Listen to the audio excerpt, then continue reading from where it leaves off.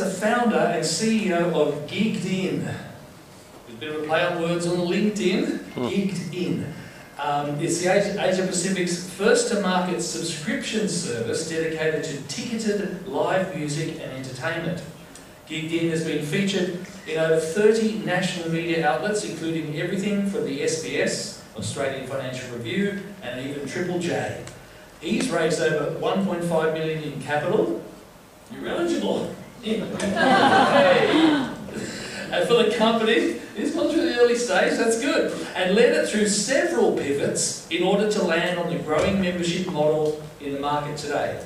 Gigged In was one of BlueChilli's original portfolio investments, and the company now works alongside many of the entertainment industry's leading agents, promoters, and venues to fill up rooms by making going out, discovering shows part of every young Aussie's weekly routine. We are very privileged to have Edwin make time to share his own story about his innovation and entrepreneurial startup journey with you here tonight. Please welcome Edwin Ongo from In.